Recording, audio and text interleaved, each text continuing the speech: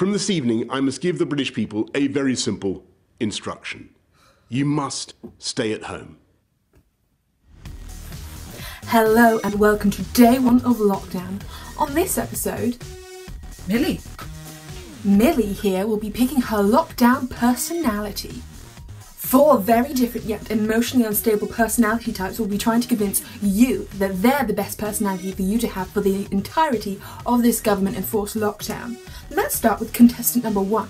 Contestant number one, please introduce yourself. Hi, I'm the motivated you. Listen, I've been thinking, and this whole pandemic thing really seems like a blessing in disguise. You could use this time to do something useful. If you pick me to be your personality, you'll come out of this lockdown fitter, more educated, and 10 times the person you used to be. You'll read all these books. You'll learn Greek, French, and Spanish. And you'll write that novel you always meant to write. Wow, what a strong pitch from contestant number one. What are your thoughts? She's very intense. Um, I have a question. What happens if I don't achieve these things? Well, then I'll just fall into a deep void of depression because I'm worthless. Great, great. Great. Moving on to contestant two.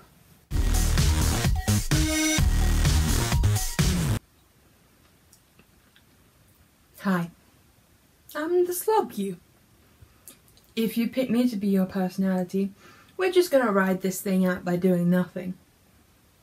You'll only ever wear pajamas, you'll never have to wear a bra, you'll eat peanut butter like yogurt, and you'll just do nothing. Look, look at these mugs. You'll make the tea, you'll drink the tea, but then never take the mugs down to be washed. It's like a work of art. What exactly would I do with my day? You'll adopt the lifestyle of a very fat house cat. You'll just sleep 70% of the time and then the rest of the time you just watch Netflix. And what do you think? Could contestant 2 be the personality type for you? Um, right, on to contestant 3.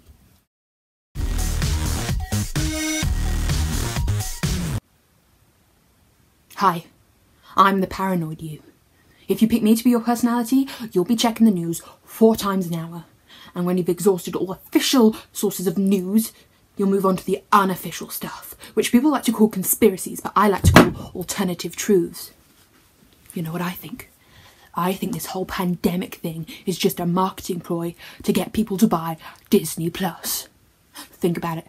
Think about it. What, what are people doing all day? Just watching Disney films, huh? Yeah? It's genius.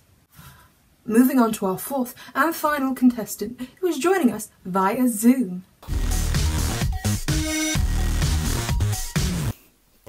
Hi, I'm your Zoom friend.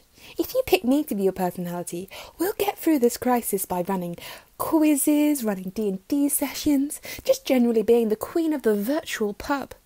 And you'll do all this as an excuse to drink, because drinking alone is sad. But drinking with friends, even virtual friends, that's acceptable. And you'll do all this even though you've got terrible connection. Oh no, seems like we lost connection. Never mind. Show's nearly over, so it's time for you, Millie, to choose your lockdown personality type.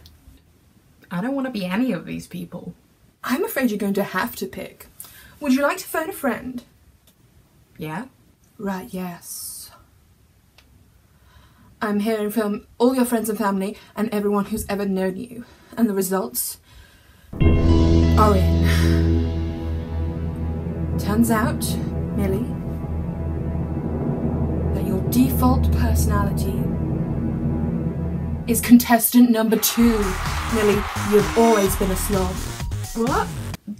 No, I'm not. Look at yourself in the mirror, Millie. You've been contestant number two this entire time.